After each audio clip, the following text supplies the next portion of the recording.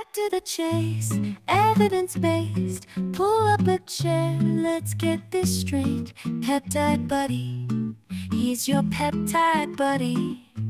Hello, everybody. The topic of today's conversation is about a modified version of insulin like growth factor 1, or IGF 1. And although we've talked quite a bit about IGF 1 LR3 previously, today let's hone in on another derivative called IGF 1 DES, or DES, however you want to say it, but it's also seen as DES 1 to 3 IGF 1. This peptide is structurally truncated when compared to IGF 1 itself, however, just by three amino acids. And the earliest of data surrounding the peptide has been collected from the bovine colostrum, human brain, and porcine uterus. Interesting and kind of gross. It's naturally occurring and theorized to occur via modification of IGF 1 itself. And a theme we see with these peptides that are similar to IGF 1 is that they are purportedly more potent. And with regards to pharmacodynamics, potency is essentially the measurement of a compound's biological activity in relation to the dose needed to produce this effect. So, a highly potent compound is one that, with a smaller dose,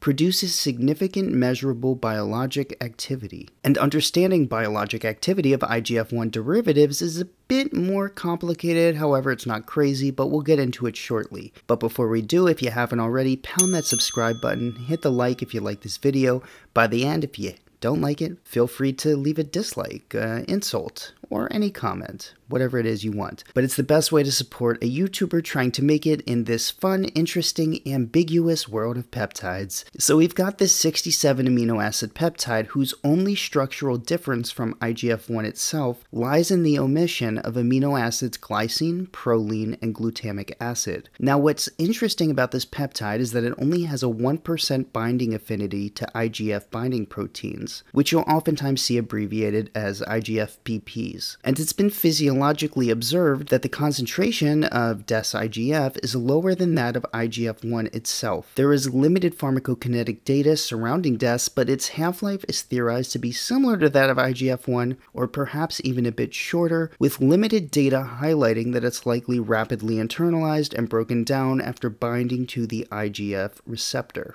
And I've seen that some of the sites selling this compound comment on its half-life, but amongst all that I've read, I could not find anything indicating indicating a number, so they're either making it up or have access to stuff that I don't know about, in which case we need to have a talk. But let's touch back on the potency component. Basically, with removal of three amino acids, there is an alteration to the structure of IGF-DES, which decreases its ability to bind to these IGF-BPs. Now, one of the proposed roles of these binding proteins is to, of course, bind IGF 1, duh, but this would decrease its ability to directly communicate with their IGF receptors. So, through this structural change, most predominantly the removal of the glutamate amino acid, IGF 1 DES is grossly unable to bind to these binding proteins and thus stays active and can bind to IGF receptors, inducing their activation, hence the increased potency when compared to native IGF 1. There's more active product